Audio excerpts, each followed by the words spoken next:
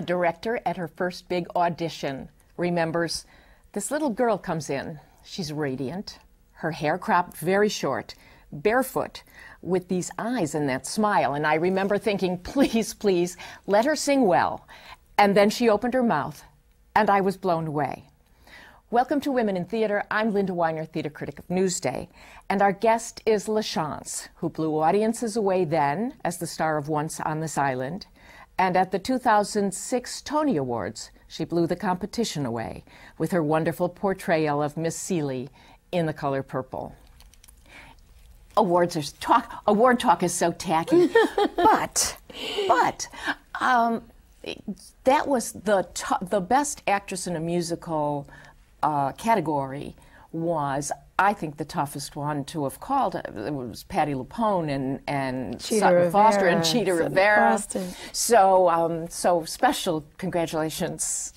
Um, Thank you. now you have left the show now after how long were you in the show? Counting counting Atlanta, Oh, two and a half years. two and a half years. was my stint with the company.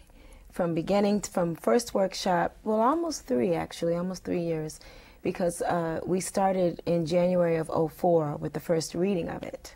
And then we did quite a few workshops, and then the out of town tryout, and then another workshop, and then the rehearsals, and the year on Broadway. And so it's been about two and almost three, just shy of three years for me. Now, we're talking in December of 2006, and the news this week is that The Color Purple just recouped its entire $11 million investment. Yes. Uh, you know, you don't know. I want to say congratulations to you. It's not your show, you know. Well, it's, I'm But- still, I'm still in the family of the color purple. still, um, when you look at how many shows run a very long time Mm-hmm. and never recoup, uh, which I don't ever understand, but um, do you have some thoughts about the success of Color Purple? Well, I feel that being well, first of all, I've done theater in New York for several years. So, looking out at those audiences, I'm used to the theater audience, which is hugely uh, a, a a local audience, a new a tri-state area audience, which is uh, primarily made up of theater goers who visit lots of shows. This particular show has brought in an audience that isn't that that we don't see usually in theater on Broadway. It's a hugely diverse audience. We have people coming in from by the bus loads from as far as Alabama. I mean, people are coming to see this show in droves, and there are a lot of African Americans coming to see this show, and that's making up a huge part of the audience. And um, you know, it's it's it's keeping the sh- it's doing great for the show. It has actually changed Broadway history in in that way. Is Mm-hmm. that according to the League of Professional Guys, Mm-hmm. um, there's four percent, ordinarily four percent of the Broadway audience is African American. I've read that. hmm And even in shows like Dreamgirls or um, Bring in 'da Noise, Bring in 'da Funk, at the most, the audience was sometimes 25%. Right. And yours goes, they've said, you know, 50 to sometimes 80%. I'd say 50% is about the minimum amount of people just in looking out, and it's it's just under 2,000 seats. So um, so it's a big theater. it's a huge theater, and I look out there. I would look out there at night and see primarily, you know, African American faces, and you know, and and and it's it's surprising to see that being in theater. Now, when we were in Atlanta, absolutely, pre- predominantly African American audiences, but here in New York. You know the ticket price is not it's not an inexpensive ticket price. It's it's you know it, it's not something that's going to run forever. We hope it does, but you know um, theater has a limited lifetime. So um, to look out there and see so many African American faces, it's actually very nice change. Now, how much do you think of that is Oprah Winfrey, who is one of the producers and the most sort of conspicuous name attached to it? And how much is other kinds of really smart marketing, do you think? Well, the color purple for most African Americans who have lived since 19 what what year did it come out? It came out in the 80s, I, I think 82 was So anyone that was born, you know, from 1970 on or 60 on for that matter, 50 on for that matter, has some connection with The Color Purple, the Yeah. film, and the novel. Yes. And um, I know before Alice even Walker's novel. Alice Walker's novel, which she's brilliant, but uh, even for myself as a college student, uh, seeing The Color Purple, it became my number one favorite film of all time. And I've seen a lot of film but as an African American woman, it just spoke to me directly. Um, being from the South myself and um, having my own sense of insecurities as a woman, like so many women do, and all the pressures of uh, my community and uh, you know, you know the, the stress that people deal with just being a type of individual. I just identified with these women on different levels. All the women in the And show. And it's really female driven. Too, Oh yes, story. definitely female-driven Yeah. story. Um, although Mr. the male character and Harpo the other male character are very strong elements, it's about the change that these women go through, and pr- primarily Celie, and how all the women in her Over like 40 years. over 40 years. I started Yeah. started the show as a 14-year-old and then went to 60. Now, how hard was it to tell yourself you were ugly? I mean, that was my my problem. Was I'm sitting there and everyone keeps walking around looking at you and going, "Ugly." well, I have to tell you, Yeah. uh, the hair designer Chuck and the costumer uh, Paul Tazewell, they did an amazing job with transforming me. I remember the first time I put my wig on and that the plaits. You had that one braid the right in one braid right in the face, Yeah. which I requested because I wanted that. But he, um, I looked in the mirror the first time and I thought, wow, I cried. I couldn't believe how much it transformed me. You cried. You said, look. "Oh God, I'm ugly." I said, "Oh God, I'm Celie." I really looked, um, and you know, Alice. Alice has mentioned to me that Celie, unfortunately, the, the line of "you show is ugly" has gotten such notoriety. People have paid so much attention to that that line that um, she really was trying to communicate how Celie feels about herself internally. She feels ugly, but she really isn't. It's how she feels about herself, you know. So um, I went with that. so you were born in the South. You were born in, in Florida, Yes, St. Augustine, Florida. but didn't grow up there. Lived there for uh, a lot of my childhood, and then we moved to Connecticut. So I had the best of the South, best of the North. And you knew right off you had to perform. Yes, You I one. did. You were one of those little girls, right? Well, my mother knew, saw very early that I, um, I like to perform. I um, spent a lot of time fantasizing about dancing, singing, and acting. I remember as a child uh, in my living room, in my family's living room, I would um, play whatever record, because that's right, we had records when I was a little girl. I would play Yes, whatever. children. I would play uh, whatever record I could get my hands on, and I would go from singing to dancing to dr- being very dramatic within one song. And I had a hard time deciding what it was that I wanted to do because I loved doing all three. And when I discovered musical theater, I was I could not have been happier as a child, and I begged my mother to take me to shows. And she was she started bringing me into New York because we were right up in Connecticut. We'd take that Metro North down, and the first show that I saw was Chicago. Not bad. Love Not Chicago. a bad start. And then from there, I just would come in and see shows, and I knew that this is where I wanted to be. And then you went off to Philadelphia, and we're going to do a little bio thing. Then, Okay. you, then you went to Philadelphia when you were in the college, Performing Arts College. Yes, it's But- now the University of Performing Arts. Okay, the University of the Arts of the in arts. Philadelphia. But then mm-hmm. y- you left so you could come to New York and and be in Uptown. Uptown, it's hot. Well, Uptown, dot, actually, dot, dot, it's hot. exactly. I was actually still in school. Okay. When that show, I was. It was a summer job at the Tropicana Hotel. I was on a summer. It was a summer job dancing in the casino with this show called Uptown It's Hot. With um, really, you know, that ensemble had a lot of actors that are off doing great things right now. Elise Neal, who does a lot of um, film and television, she was my college roommate. So um, there are a lot of people that came out of that school, but um, it was just a summer job. I was going back to school in the fall, but the show went to Broadway, and I thought, hmm, leave Broadway, go back to college, Yes, or right. college, Broadway. go to. Broadway Uh-huh. and get my equity card and start working in theater. And it was a very difficult decision, but I begged my mom to let me take some time off of school to do this show. And my parents let me come in and let me do it. And um, from there, I just didn't stop. And it was just a few years later that you auditioned for that wonderful quote at the beginning about you with your bare feet mm-hmm. is was by is by uh, Graciela Daniele, who was yes. the director of of Once on This Island. Mm-hmm. I just thought it was just such a picture, such a snapshot of you then. it really um, is, is exactly what I looked like. But there you you had a um, you got a, a, Tony nomination for mm-hmm. that, and that's a musical that um, that has a a, an ongoing life. Yes, it does.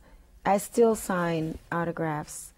I still autograph playbills uh, from the from Once on This Island to this day. And Ti Moune's all grown up now, and I still sign autographs as Ti Moune. Wow. I, I, I, mean, I have friends who they do little white kids do it in in school. Oh, so. it, it has such a following yeah. all over the you country. You were Caribbean. You played a, a, Caribbean, very poor girl. I played a dark-skinned yeah. girl from the Caribbean yeah. who's who came from a, a, poor family. We were considered the peasants, who fell in love with someone from the other side of the island, the fairer-skinned blacks, who considered themselves the Beaux-Hommes. They were better than. So it really was a comment on race in African American community in uh, in the African diaspora, and how the color issue plays out, the dark skin versus the lighter skin, and all the complexities and conflicts that exist in the community. And um, but yet it was also based on um, Hans Christian Andersen's The Little Mermaid. It was also sort of taken from that and, and set in the Caribbean. You know, a girl from the sea can't fall in love, with, can't be with a man from the land. Just people, two people from two different worlds coming together and falling in love. Before we go any further, would you explain the name? My name? Yes. Sure. okay. Rhonda Sapp was my Rhonda LaChanze Ra- Sapp. Okay, so LaChanze was in the middle. Okay, yes. great. All right. Rhonda LaChanze Yeah, Sapp I think Sapp was, was a good thing to get rid of. Yes. yes. Don't tell my dad that. I'm sorry. He's in Alaska, right? yes, okay. Is. Don't tell my dad that. Right. Or my cousins. Yeah, we don't run in Alaska, I don't think, so we're okay. it's okay. um, uh, Rhonda LaChanze Sapp was the name on my birth certificate. But uh, as I grew up, I just loved my middle name more than anything, and it's my grandmother's name. And so I started having my friends call me LaChanze. And when I actually left home, I just said my name wasn't Rhonda at all.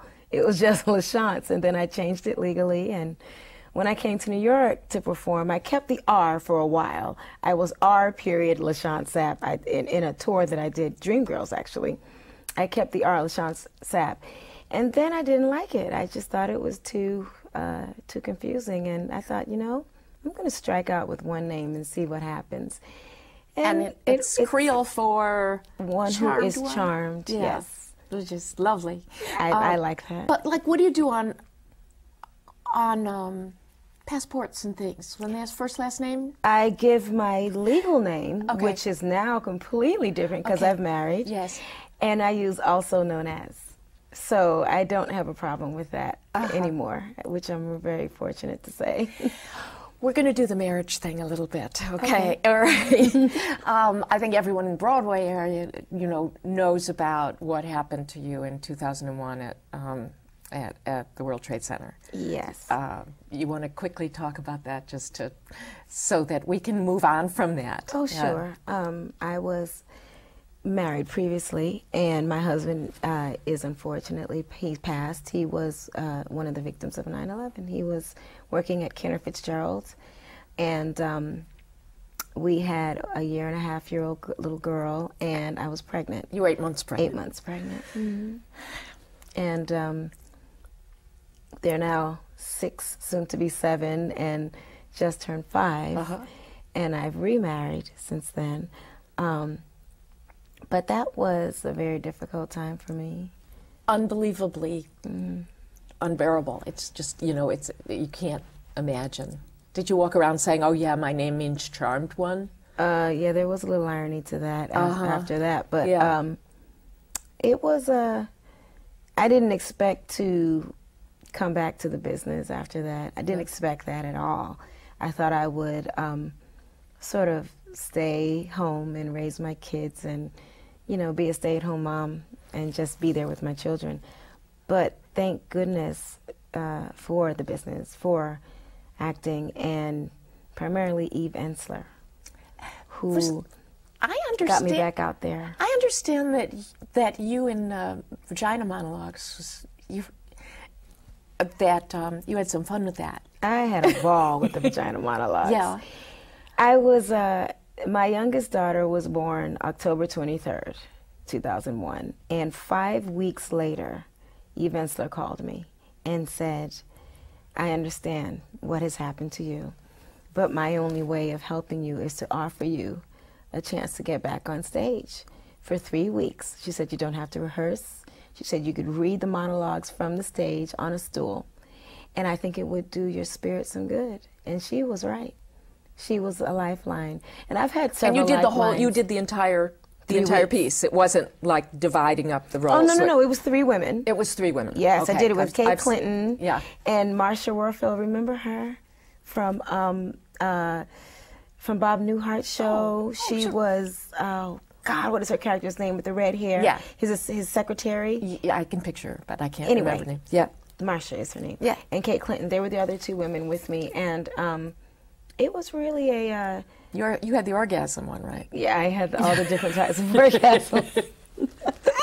So, was so that sort of got you back into the theater, huh? Yes, it did. I, I found my love for the theater again, and I was able to escape to a place that took me out of my life and and my my pain, and um, I just decided to keep working. So I started getting back out there. And your husband is a, your husband is a painter that you Yes. commissioned him to do a, A painting, a painting. after 9-11 yes after 9-11 um, I, I had a lot of legal affairs and the firm that handled all of my legal affairs because it was a lot of paper um, they took me on pro bono and they were with me for almost two years so at the end of everything when the final piece of paper had been signed i thought what can i give these these wonderful attorneys for their generosity mm-hmm. and I noticed that they had these brand new law these brand new offices down near the World, World Trade Center and no art anywhere. So I thought maybe I'd give them a piece of art with maybe a little plaque so that their other clients could see that they do such great work. And I was talking to my attorney at the time just about that. And she said, I said, but I, I don't know what to do. Do they want a statue? Do they want a painting? And she said, uh, well, you know, I my cousin is a painter. He's in Atlanta right now on another commission, but I can put you in touch with him and maybe you can talk to him and he can come up with a vision for what you'd like to express and maybe that would work. And I thought a painting, that might be nice. So um, she gave him my number and he called and we just started having conversations about the painting and about what he needed and to, to sort of uh, come up with a vision for the painting. Now I hadn't seen him. He was just a voice on the other end of the phone. And we would talk after I put my kids to bed. So um, it started just being, you know, a casual conversation. But the questions he asked were very sensitive questions, and he had to ask about my relationship with my husband in order to to come up with uh, an idea of what I was trying to communicate in with my gratitude. And you know, and he wanted to use my daughters as the muses in the painting, and it, it was just a beautiful idea, the concept that he came up with. But um, in the, the the evening conversations, I found myself opening up to him in a way that I hadn't been to anyone else because I didn't see him. He was just this voice, and I felt some anonymity with that. And um, it was just it turned into uh, it turned into something I started looking forward to in the evenings. And after a while, we weren't talking about the painting anymore, and um, it just blossomed and. I guess maybe almost two months after our phone conversations, almost two months, he said, I'm coming to New York. I'd like to meet my muses, meaning my daughters. And um, makes me emotional when I think about it. But he, he came to New York, and we both knew that there was something going on more than uh, artist and uh, uh, client and artist. And um, one thing led to another, and he started coming up more often. I started going down there more often, and um, we're married now. And he, he moved here? Yes, he did. yeah. Well, he had a studio here. Uh-huh. So he would come back Yeah. to work in his studio up here, and then we started uh, saying, why don't you just come back to New York? There was a time when you said that the thing that you used to like best about yourself was your resilience. Mm-hmm. Uh, you, That's true. It's still true. yes, I'm still Yeah. kind of emotional. Sorry. sorry. About talking about sorry. that. Um, yes. Um, God has given me a real keen sense of survival, survival instinct. And I didn't know that growing up. I just would throw myself in certain situations and just keep going forward, just keep putting my, my steps in front of, one step in front of the other. And that's pretty much how I handled 9-11. I just, um, you know, in my, in my private time, I would have my moments but I also had a newborn that really needed me. And she had lost a father. She can't lose a mother, too. And that's all I kept thinking. She can't lose her mother, mm-hmm. too. So I had to be there for her, and I wanted to be there more than I than, than she needed because her dad was gone. Mm-hmm. You know, I really wanted to to just give them everything. I didn't want them to want for anything. And in order to do that, I had to get back out there and be strong and make life beautiful for them as much as possible. And in the giving and the doing, I was healed. Mm-hmm. You know, that's what Oprah talks about sometimes. She says, if you want to feel good about yourself, give something away. And it's true. I found in the giving, I was healed. You know, there's something really special about giving.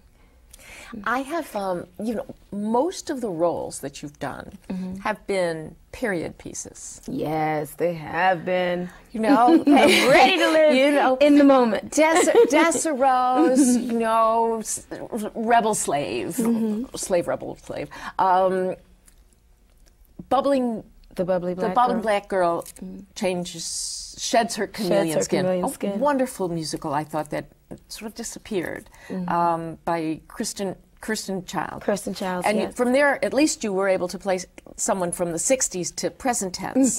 Yes, But the 70s. I I have read that that um, that you feel that somehow that that African American women actresses don't really get that much opportunity to do contemporary characters in theater. in the theater. in the theater. Um, rarely do you see an African American woman in theater that is uh, leading in a musical that is of present day. Yeah. Rarely. I mean, if you can think of one, Yeah. let me know. Has to be ancestral suffering. It has to be uh, not ancestral suffering so much because you know there are a lot of comedies. Yeah. I mean, you know, uh, black women work in theater in all different Mm-hmm. uh, aspects: comedy, drama, you know, farce, everywhere. But um, there aren't any modern musicals written today that uh, African American women are leading in you know and and and um i don't know why that is, honestly i don't know if uh you know what comes to mind immediately is something like um the voice in bringing the noise bringing the funk but that was such a a uh we you know as far as musicals go you think of that as something outside of the traditional genre of Right, musical theater right, yeah. even though it was in musical theater And she wasn't really the character. she was she was the voice. Yeah. So she sang. Yeah. You know, which is you something that black women have done on Broadway for years. You know, um, but to place you know a, a, a leading woman of of, of uh, modern time is rare to see. Even um, I look at someone like Audra McDonald. Her work, she's done amazing work in the theater. But look at the roles that she's done. She's done Raisin in the Sun most recently, and you know, Ragtime. Ragtime, which we both did. Which you both did, right. And um, you know, a Carousel and uh, the the Zoe Caldwell piece, Master Class. masterclass, yes. You know, but that was not a musical, really. It wasn't she a sang, musical. but it wasn't a sang. musical. Exactly. Um, we don't have much time left, so I, I do remember that uh, that I read something about that you had recommended to actresses, to black actresses, that they try out for all kinds of roles. Yes. Everything. Um, do people ask you this a lot? Do you, you know, do you feel that the audition process that that you're you're welcome to? One thing that I'm fortunate uh, to have experienced in the theater is I get asked to audition for everything, and I'm so lucky Yeah. because um, that doesn't have happen often. But I have uh, made some very good relationships uh, with directors and producers, and they like me and I'm happy about that. so they will ask me to come in. I may not be cast, but it gives me the opportunity to um, get out there a little bit more and and I do like that. And the great thing about theater is you have to have talent to succeed in theater. Rarely can someone sus- sustain an eight show a week schedule and not really have the ability to do that, the talent and Yeah. the, the uh, the the stamina to do that. So you have to have some some bit of talent and ability to do that. And actors in theater, in order to get in the door, you have to have that. And and and directors need talent. Yeah. So it opens the door for so many. Um, thank you so much, LaChanze. It's a perfect ending. Thank you so much. Oh, sure. And thank you for joining us. On behalf of the League of Professional Theater Women, I'm Linda Winer, and this has been Women in Theater.